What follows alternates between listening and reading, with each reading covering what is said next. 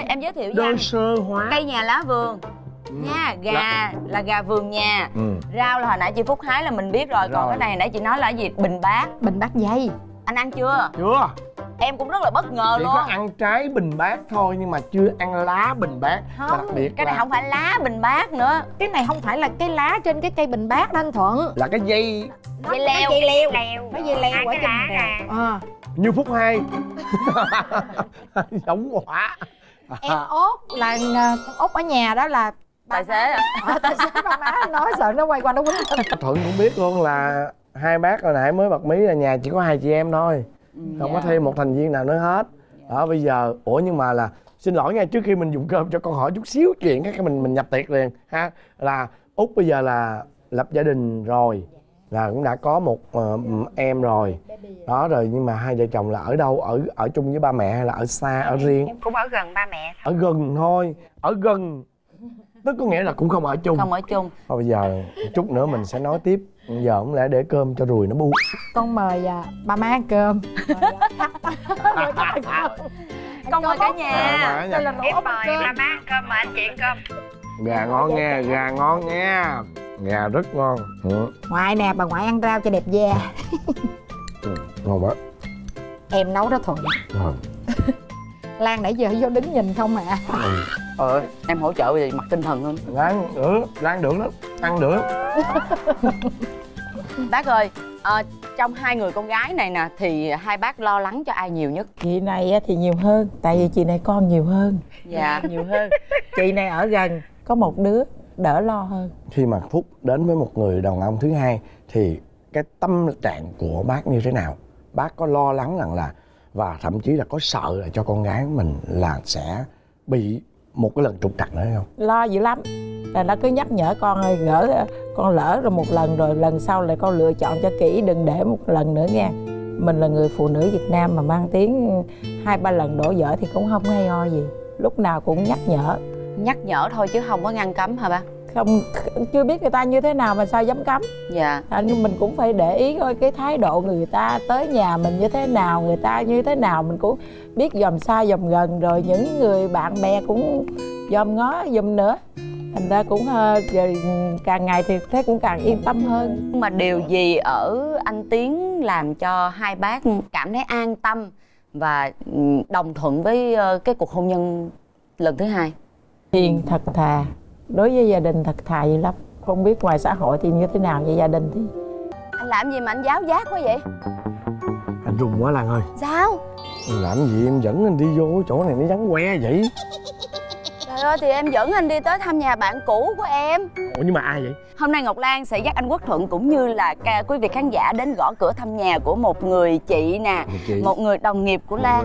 một người đồng nghiệp à như vậy chắc chắn là anh cũng sẽ biết người này Chính đúng không? xác. Mà bây giờ em không nói đâu. Mời quý vị khán giả hãy theo chân Ngọc Lan cũng như là anh Quốc Thuận để xem chủ nhân của ngôi nhà này là ai. anh nghe anh trai hay anh gái anh trai hay anh gái. Con gái. con gái hả? Trời con gái.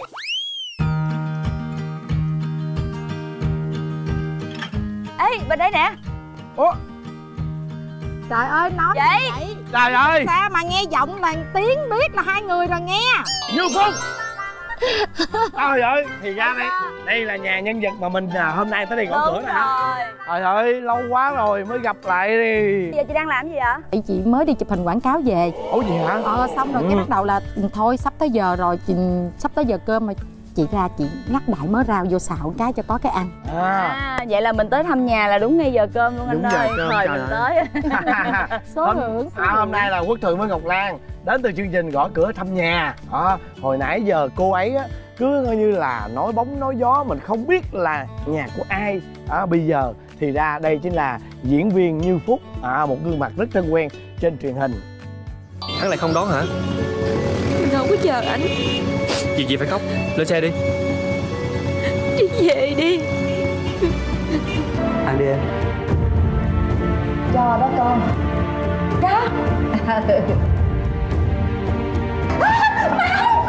Hay ờ, hai người nắm tay nhau bỏ trốn đi. Chị phải sống thật với tình cảm của mình. Số phận của chị nó đã vậy rồi. Em đừng có nói tới nói lui nữa. Má nghe được má buồn đó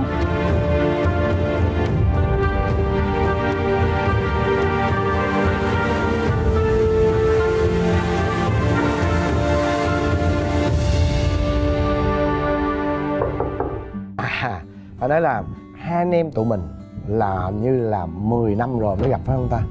À, như phúc vừa là một diễn viên ờ, điện ảnh nè vừa là diễn viên truyền hình vừa là một cái gương mặt trên các bìa tạp chí lúc bây giờ. Và sau này phúc lại tham gia thêm nữa là diễn viên sân khấu, Sân khấu. À, phúc rất là đa năng. Vậy thì quốc thượng gần đây thì lại không thấy phúc lại xuất hiện trên các phim nè chương trình truyền hình là thậm chí cả sân khấu luôn. Thì à, như phúc bắt đầu có gia đình rồi à, sản xuất các em bé cho nên đâm ra là mình cứ phải bị cuốn theo cái chuyện ờ, chăm sóc gia đình chăm sóc các bé nó ừ, không có còn cái thời gian nhiều. Thực ra thì trong những khoảng cách mà ờ, sản xuất các em bé thì mình vẫn tham gia nghệ thuật nhưng mà nó bị à, giãn cách gián đoạn. À, gián đoạn rồi giãn cách ra nữa cho nên là cũng ít dần đi chứ không phải là không xuất hiện như thuận nói. Em rất là thích chị Phúc ở một cái điểm là 10 năm trước em gặp chị với 10 sau 10 năm chị cũng y chang như vậy. Tức là tính tình không thay đổi là ai cũng biết rồi mà anh nhìn ngoại hình của chị đi. Dốc dáng thì rất là đẹp da dẻ cũng rất là đẹp. Mà em đang rất là thắc mắc như chị. Chị vừa đi làm nè rồi vừa chăm con nè rồi em thấy chị còn đi ra vườn chị hái rau rồi chị làm cây đồ này nọ. Làm sao mà chị giữ được cái da được như vậy? Hai vợ chồng á, có một cái thói quen á, là take care về sức khỏe. Dạ. Đúng. cho nên là tụi chị cứ cập nhật những cái thông tin rất là coi như là mới nhất. Mới nhất về những cái gì gọi là sức khỏe. Cho nên nó là về cái vấn đề mà thực phẩm chức năng hay gì á riêng là ông xã chị á là luôn luôn có collagen là cái cần thiết dạ. để mà mỗi ngày. Cho nên là hai vợ chồng cứ đều đều ngày nào cũng collagen. Chị uống nước uống làm đẹp Adiva. Em uống mà em nghiện luôn á vậy hả? Ờ em uống mà em nghiện em nói anh ơi cố cố gắng cày đi thay vì người ta nói mình ngày uống một chai thôi em uống ba chai ba buổi sáng trời ơi lúc đó chắc chắc thành cô gái 16 tuổi quá đúng không? Cho em hỏi là ừ, khi mà em em vô đây em thấy nhà chị là vườn tược cũng, cũng nói chung là cũng khá là rộng rồi chị chị quản lý đó bằng cách nào? Chị ở đây với ai? Ờ, chị ở với à, ông xã chị với à, các cháu. Ủa chị vậy là còn ông bà ngoại thì sao chị? Em nhớ là hình như ông bà ngoại là ở bình dương đúng không? Ờ, ở Bình Phước. Bình phước dạ. Ông bà ngoại ông bà ngoại có hay xuống đây thăm không? Thỉnh thoảng nào bà ngoại nhớ cháu xuống thăm. Thỉnh thoảng là bao lâu? Nó vô chừng lắm anh thuận cái khi là nói à, ngày mai má đi test khám hay là má khám định kỳ. Rồi xong rồi cái có khi cũng không nói nó lù lù ông bà ngoại xuất hiện. Dạ. Tao nhớ nhiễm quá tao vô tao hung nhiễm. Mà nhiều lúc kêu ở lại ăn cơm nó không tao hung nó xong tao về Đi công việc chứ còn nhiều. Mà có khi nào mà phúc ờ, đề cập đến vấn đề là mời ba mẹ lên đây ở luôn không? Để mà gần con cháu. À, tại vì á, thật ra thì ba mẹ em lớn tuổi nhưng mà cái công việc à, kinh doanh của ông bà từ trước tới giờ á, thì ông bà vẫn làm. Nhiều lúc ừ, còn cho tiền con em đi học nữa trời ơi cái này là bất ngờ đó nha đó mình cảm thấy rằng là ok miễn sao mà ông bà cảm thấy hap- happy vui vẻ ở ờ, ở dưới quê cũng vậy mà lên đây cũng vậy là được rồi. Dạ. ngoại dạ ủa ông ngoại ông ngoại. cầu đường ước thấy nha. Dạ chào bác. dạ, con chào ông bà. Khám bệnh chào chào ông bà. Ủa út chở ngoại xuống hả? Ừ út chở xuống. Mời bác ngồi. Dạ hôm Dạ, nay đi à, khám định kỳ hả ba? Tái khám hả? Dạ. Đi khám. Ủa nhưng mà sức khỏe của hai bác như thế nào mà đi ờ, tái khám vậy? Cũng bình thường. Bình thường phải định kỳ. À, khám định kỳ thôi đúng không? Dạ. Anh anh em thấy vậy nè. Bây giờ có hai bác tới rồi. Hay là bây giờ mình tách ra đi? Ờ, tách ra đi xong rồi ờ, em nghĩ là anh cũng có rất là nhiều cái vấn đề nhiều cái câu chuyện để anh ờ, muốn lắng nghe sự chia sẻ của Đúng hai bác vậy. về cô Đó. con gái của mình đúng Ừ, không? Ha đúng, đúng, Ờ, tạm biệt nha mình tạm biệt nhau nha. nghe. Rồi. Chị em thấy có gà có gà có gừng. Chị làm gà kho gừng đúng không? Giỏi. Thấy giỏi không? quá giỏi. Trời ơi nữ công gia chánh em giỏi lắm á. Đây gà này là ở ngoài vườn chị á. Dạ. À, chị à, chị bắt vô xong rồi chị lấy đầu cổ cánh đang hầm nước bển kìa. Ừ. một chút mình nấu canh. Để để chị ướp cái nha ướp Dạ. cho nó tranh thủ cho nó thấm một chút. Thôi bây giờ để cho nó thấm đi em chị qua bên này tâm sự. Đúng rồi lâu lâu mới gặp một lần. À, bác à, hôm nay thì con mới được à, có dịp ngồi để mà à, trò chuyện với hai bác. À, con rất muốn biết là ở dưới quê là à, gia đình của mình ở dưới là làm công việc gì bác? Hồi nãy phúc có nói là cũng có kinh doanh mà con cũng muốn biết là kinh doanh về mặt hàng gì ạ? À, trên quê tôi kinh doanh à, vật liệu xây dựng. Dạ. Với lại làm tôn lập nhà này dạ. À, nhà máy tôn lập nhà. À. ngoài như phúc ra thì gia đình mình là ừ, còn mấy người con nữa bác? Còn một cô em út của nó này. à là có hai người thôi. Cái thời gian mà phúc mới tham gia nghệ thuật thì bác có lo lắng gì không? Thì à, làm mẹ mà con nó ở xa thì đương nhiên là lúc nào cũng phải lo hết. Dạ rồi sợ nó gặp những cái chuyện không hay. Rồi bây giờ càng ngày nó càng chững chạc lên thì rất là phấn khởi. Cái lúc mà phúc bắt đầu lên thành phố hồ chí minh lập nghiệp thì gia đình của mình có ủng hộ không bác cũng uh, ủng hộ cháu rồi uh, cũng tôi mấy lần tôi cũng về dưới đây đi thăm đi theo với cháu như cái, cái công việc của cháu làm á. Thì thấy nó cũng tốt thành ra cũng yên tâm. Dạ. Rồi uh, mới để lại cho cháu ở lại vừa đi học và vừa đi theo cái nghề của cháu thích.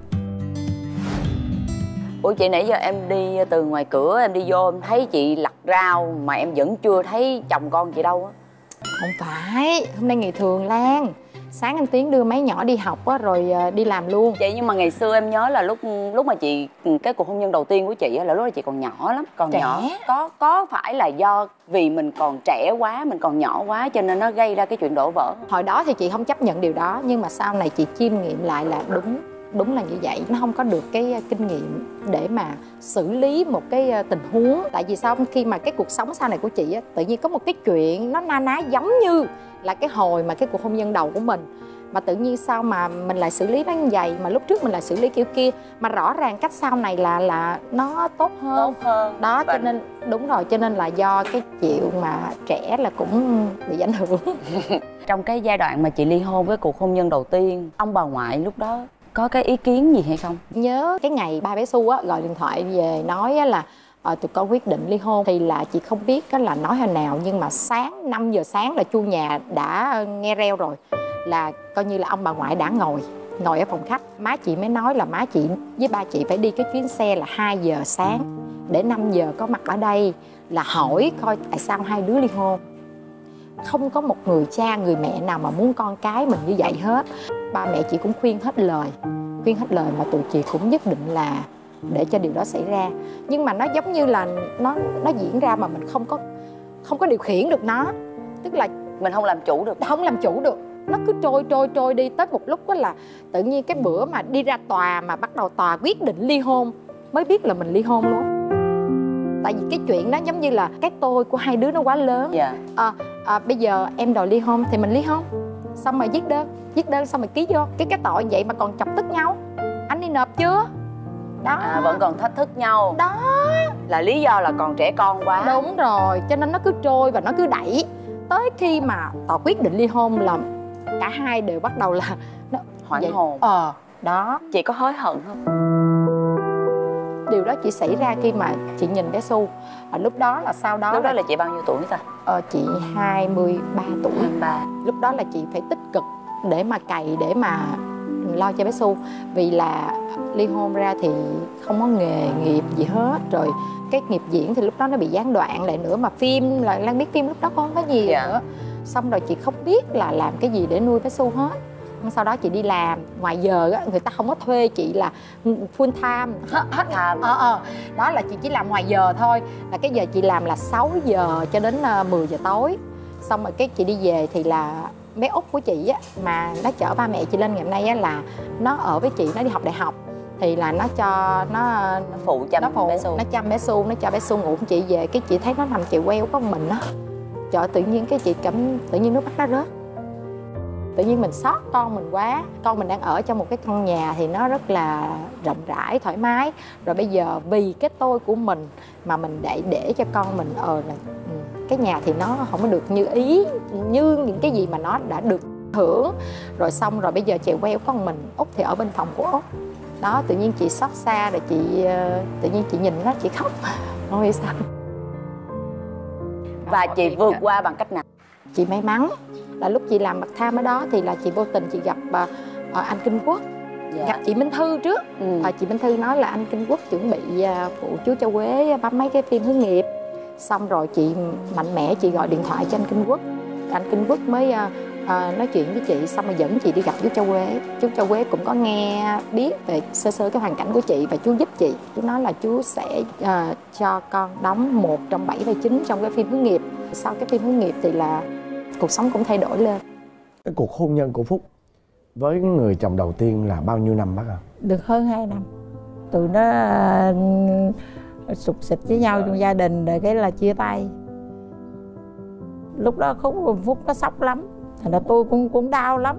Thấy con mình không được hạnh phúc như vậy mà thêm một đứa cháu ngoại nữa thì cũng đau lòng lắm. Giai đoạn đó là phúc chưa nổi tiếng. Đúng rồi. Chưa nổi tiếng. Chưa nổi tiếng. Cho nên càng khổ nữa. Đúng rồi thì cũng phải có gia đình hỗ trợ. Chứ về quê không về cái giai đoạn đó là phúc 22 tuổi đúng mà rồi. đã là mẹ của một đứa con rồi. Đúng rồi. Phúc đi lúc đó chia tay rồi là phúc xin đi làm. Làm ở mấy cái công ty á rất là khổ. Nhưng mà cứng rắn lắm đặc biệt là kinh tế là mẹ cha mẹ cho là không nhận. Nhưng mà con còn quá bé thì lúc đó là ba có lên chăm sóc phụ cho cho phúc không? Không lúc đó là có ờ, dì. Dì cũng đi học dưới này. Dạ. Rồi chị đi làm thì dì coi. Thương quá. Ờ. Mà ví dụ như chăm một đứa bé 4 năm tuổi nó biết nói nó biết nó biết nhận thức rồi được. Còn bây giờ chăm một đứa một tuổi mà chúng đó gì lúc đó chắc cũng mới có cũng mười mấy tuổi. Mười mấy tuổi à ừ. dì cũng đi học đại học đi sao đó. học đại học. Đó. Cực lắm lúc đó phúc cực lắm. Đa số những người mà đã đổ vỡ hôn nhân á họ rất là sợ bị đổ vỡ một lần nữa. Ừ. và bản thân chị lúc đó em biết chắc chắn là chị cũng Sợ. rất sợ. Sợ. Và chị sợ trong bao lâu thì chị mới hết sợ? Lúc mà ly hôn ra xong rồi nhìn không có hình dung được là sau ly hôn nó như thế nào đâu. Lúc đó chỉ làm cho đã cái tôi của mình thôi. Rồi sau đó bắt đầu cảm nhận được rằng là ờ ly hôn ra con mình nó phải như vậy như vậy chịu thiệt chứ nó không phải như những gì mà mình mình nghĩ. Nó nó nó hoàn toàn nó khác. Mà tụi chị ly hôn đúng cái ngày sinh nhật của bé Su cái ba nó mua về cho cái bánh. Cái bánh này cái kia bé Su vô thổi thì chị cũng tự ái mà. Ờ muốn làm gì làm đi. Tôi đứng đây tôi ngó ngó ngó ngó vậy đó. Cho nên nó nó bị thiệt. Cho nên chị nói là bắt đầu mới là quyết tâm ở trong lòng là mẹ hứa với con là không bao giờ mẹ đi một bước nữa để mẹ dồn hết tình thương cho con bởi vì con đã bị uh, khiếm khuyết nhiều quá rồi.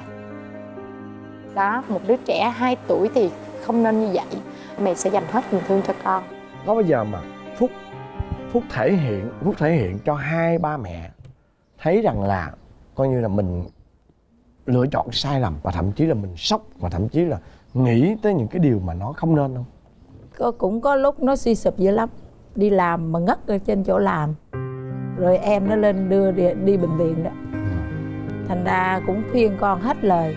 Kêu bằng cố gắng lên vượt qua cái này tại vì trong cuộc đời ai cũng có cái lúc sóng gió thì con phải cái khúc này là khúc sóng gió nhất đời con con phải cố gắng lên. Thì một thời gian rồi cháu nó cũng đi làm cũng một hai năm sau nó cũng nguôi ngoai từ từ. Bác năm có kêu phúc về quê không? Có. Có chứ. Nhưng mà thì quê nó không, Không chịu. về. Không chịu về. Thì về tôi thì khỏi lo. Có giận không? Hả không có giận khi nào giận như phúc không? Thì cũng giận giận chút xíu thôi. Nó nó bây giờ nói thì nó nó nó cũng đúng nó không về quê thì cũng đúng. Tại vì nó cũng có mặc cảm.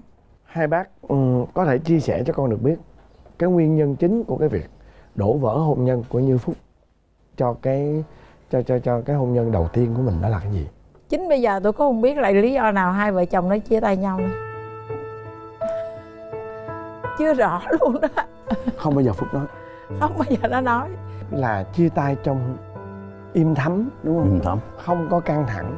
Không căng thẳng mặc dù trong lòng buồn lắm đúng không bác? Tôi cũng hiểu một phần nào cái lý do nhưng mà chưa bao giờ phúc nó nói ra hết. Tôi nghĩ là chị này còn quá trẻ.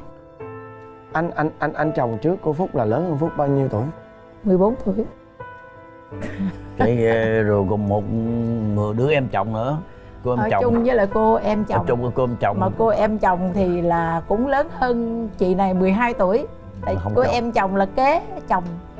Dạ. thành ra ngay từ bước đầu tôi đã nói là con còn quá nhỏ mà con của gia đình. Phương nó là anh cả. Mà em út nó lớn tuổi hơn con thì làm sao mà con ờ, là chịu đựng nổi. Mà khi thương rồi thì đâu có cản được nữa thì sau này uh, hai người chia tay điện tôi xuống thì tôi với anh chị ở trên củ chi xuống tính là hàng gắn lại. Nhưng mà cái ờ, người con rể của tôi đó thì khăng khăng nói là không được ờ, tụi con phải ly dị. Thì mình cũng có một chút xíu lòng tự trọng của mình chứ không nhẽ mình đang nỉ rể trước mặt bao nhiêu người. Thành ra chia tay vậy thôi chứ tới bây giờ cũng không có mà bây giờ cái người con rể đó bây giờ thằng phương đó lúc nào cũng nói với phúc đó anh lúc nào cũng tôn trọng ba má hết. bây giờ cũng như vậy. Rồi con đi ờ, học ở bên nước ngoài về rồi rước qua đây rồi gặp ừ, vợ chồng tôi quên chào hỏi, vui vẻ lắm, không có gì. Thời gian nó trôi đi trôi đi rồi cái chị gặp ông xã. Hiện tại thì ông xã chị cũng rất là tốt rồi yêu thương nó, chăm sóc nó. Nhiều lúc cái mà chị nghĩ chưa ra thì ảnh đã nghĩ tới cái sự an toàn cho nó trước chị rồi cho nên đó là chị thấy vừa ờ, chăm sóc chị cũng tốt chăm sóc con chị cũng tốt rồi ừ, tụi chị cứ dần trôi dần trôi hồi nào chị cũng không hay nữa. Rồi chị có thêm baby mới. Dạ. cái thời gian mà chị ờ, buồn nhất như vậy á ờ, những cái sự kiện xảy ra trong cuộc đời của mình thì chị tâm sự với ai là nhiều nhất? Chị cũng không có chia sẻ với à, ba mẹ. Vì à, lý do? công là ba má mình phải lo, Lo. Ờ, bây giờ thì coi như cuộc sống của chị đã quá viên mãn rồi mà em thấy là ông bà ngoại lại không có ở cùng với gia đình mà vẫn còn ở quê. Mà ở đó thì ờ, út nó cũng không phải là ở nhà thường xuyên với ba mẹ. Vậy thì ở ở quê rồi ai chăm sóc ba mẹ?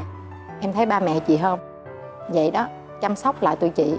Út thì ở dưới quê út cũng ở riêng ở riêng nhưng mà ở gần đó. Dạ. Đó rồi xong rồi mỗi lần út nó đi công tác công chuyện gì là cũng bà ngoại là cái người nấu cơm cho. Và xong chị á, có chuyện gì là má ơi má um, cứu là lên rồi là cũng xuất hiện lên. Thật ra thì con cái lớn tới cỡ nào thì cũng là đứa trẻ trong vòng Ờ. tay của cha mẹ mà đúng không chị? Đó cho nên lan thấy ông ông bà còn hỗ trợ lại cho tụi Dạ. chị nữa. Em hỏi nè ở nhà chị á chị có thường hay bày tỏ tình cảm với với ông bà ấy như thế nào? Chị có hay tặng quà cho ông bà không? Có.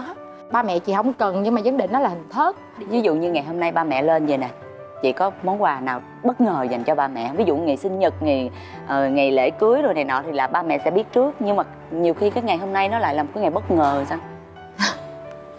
Trời ơi chị ờ, để gọi là bất ngờ. Em sẽ hỗ trợ chị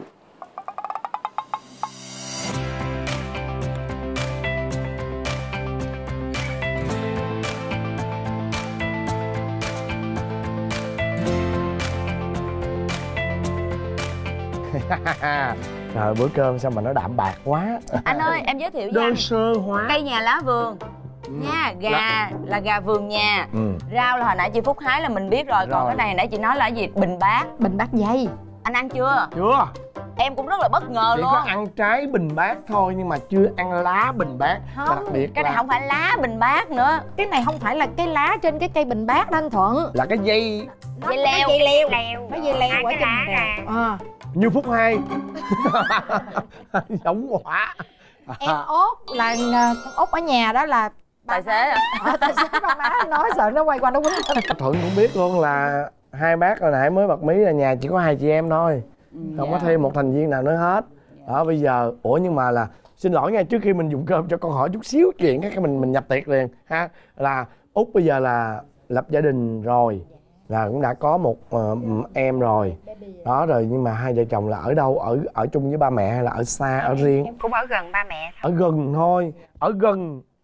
Tức có nghĩa là cũng không ở chung. Không ở chung. Thôi bây giờ chút nữa mình sẽ nói tiếp. Giờ không lẽ để cơm cho ruồi nó bu? Con mời à, ba má ăn cơm. À, con mời cả À, nhà mà đây là em mời cơm ba má ăn cơm mà anh chị ăn cơm. Gà ngon nha gà ngon nha gà rất ngon. Ừ. ngoại nè bà ngoại ăn rau cho đẹp da. Ừ, ngon quá. Em nấu đó thuận rồi lan nãy giờ vô đứng nhìn không à. Ờ em hỗ trợ về mặt tinh thần hơn lan được lan được lắm ăn được bác ơi ờ, trong hai người con gái này nè thì hai bác lo lắng cho ai nhiều nhất? Chị này á thì nhiều hơn tại vì chị này con nhiều hơn. Dạ nhiều hơn. Chị này ở gần có một đứa đỡ lo hơn. Khi mà phúc đến với một người đàn ông thứ hai thì cái tâm trạng của bác như thế nào? Bác có lo lắng rằng là và thậm chí là có sợ là cho con gái mình là sẽ bị một cái lần trục trặc nữa hay không? Lo dữ lắm.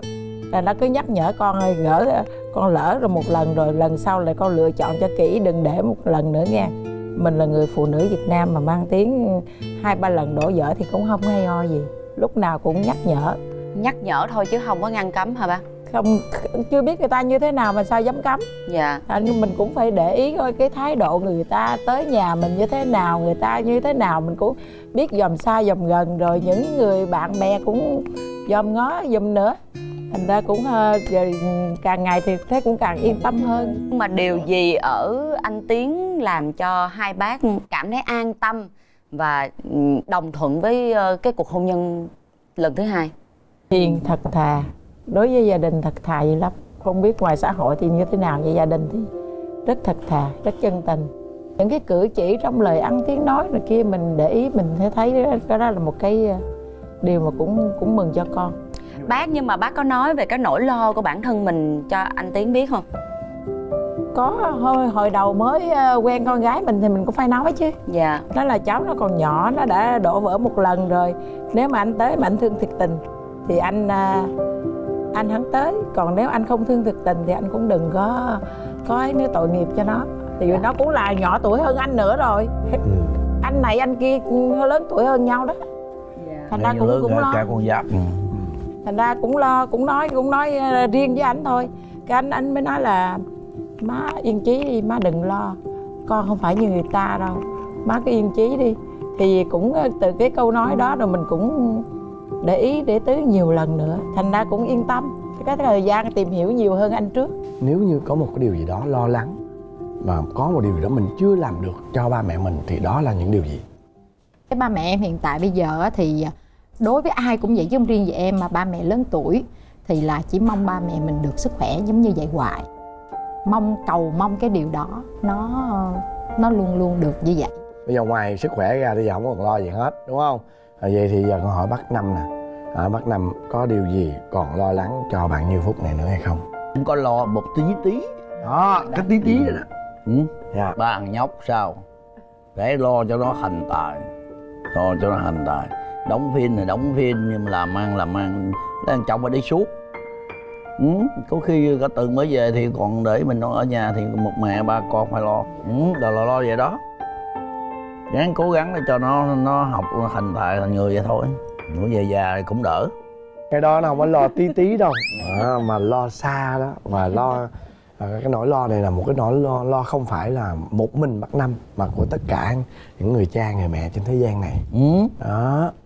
Con cháu là tài sản mà. Nói gì thì nói. Để có được ngày hôm nay phần một cái ơn lớn nhất vẫn là hai người này và với út đó thì nhân cơ hội này thì phúc có điều gì muốn chia sẻ với ba mẹ hay không em em nghĩ là vậy là nếu như mà chị khó nói á, thì mình hãy đem cái món quà mà lúc nãy hai chị em mình chuẩn bị. Mình nhờ cái món quà đó để mà mình có động lực mình nói những cái lời với ba mẹ của mình. Chị thấy ok không? Được á ok. À, ừ để chị đi lấy nha. Dạ. Trong lúc mà phúc đi á anh mới hỏi út nè em có cảm thấy người phụ nữ này bản lĩnh không? Bản lĩnh mà. Ừ. có điều gì em chưa hài lòng ở chị hai không? Có có bao giờ hai chị em gây gây lộn nhau không? Có. Ai thắng? Hai tháng hết á? Đầy thắng. Út được binh hơn đầy thắng. Chị kia nhịn chị này.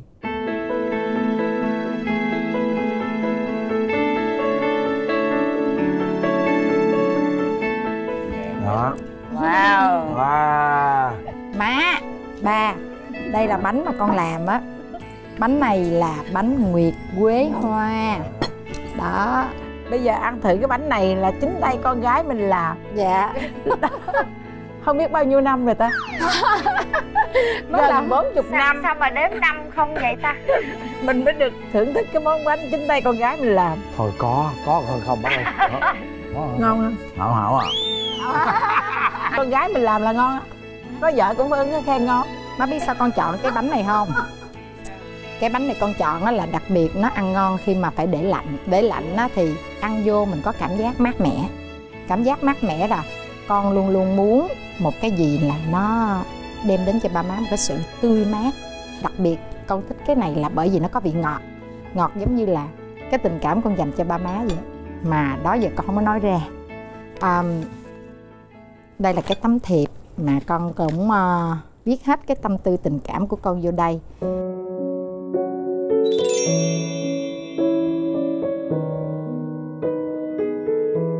Ba má thương, hôm nay con viết lên vài dòng tâm sự.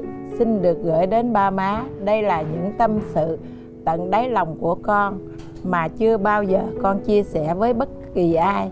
Con xin cảm ơn ba má vì ba má đã yêu thương và chăm sóc cho con đến ngày hôm nay. Ngay cả bây giờ mà dù con đã có gia đình riêng của mình nhưng ba má luôn ủng hộ và giúp đỡ con trong những khi con cần con muốn nói là con cảm ơn ba má và yêu ba má nhiều. Con cầu mong ba má luôn luôn khỏe và chăm sóc cho các con. Rồi ba má cảm ơn cảm con ơn nhiều. ba con cảm ơn má. Rồi, lần đầu tiên mình nghe được cái lời cảm ơn cũng như là những cái chia sẻ của đứa con gái mà mình lo lắng nhất. Bác cảm thấy như thế nào giờ nghe được rất xúc động. Con cũng thấy được cái điều đó trên đôi mắt của bác. Ngày hôm nay nhìn thấy bác không? Đây là những giọt nước mắt mà rất là hạnh phúc. Không hề có một sự đau khổ không hề có một cái sự thiếu sót một cái gì cả. Tại sao lại khóc? Tại sao lại tại sao lại có những giọt nước mắt này? Đó là những giọt nước mắt hạnh phúc. Riêng con thì con thấy bác rất là xúc động và đã có những giọt nước mắt rơi ra. Thì ờ, tại sao mình khóc vậy bác đọc để mới hiểu con thương con nhiều hơn.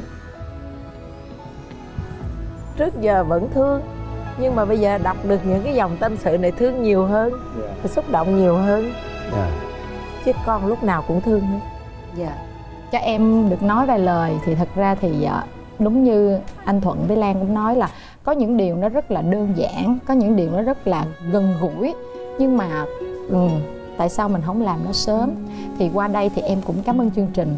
Cảm ơn anh thuận với cảm ơn lan đã khơi một cái nguồn để cho em có cái ờ, cơ hội để em gửi tới lời cảm ơn ba má em. Chứ thật ra nếu như mà không có ờ, cái ờ, cái khơi nguồn đó thì không biết khi nào em mới làm được điều này.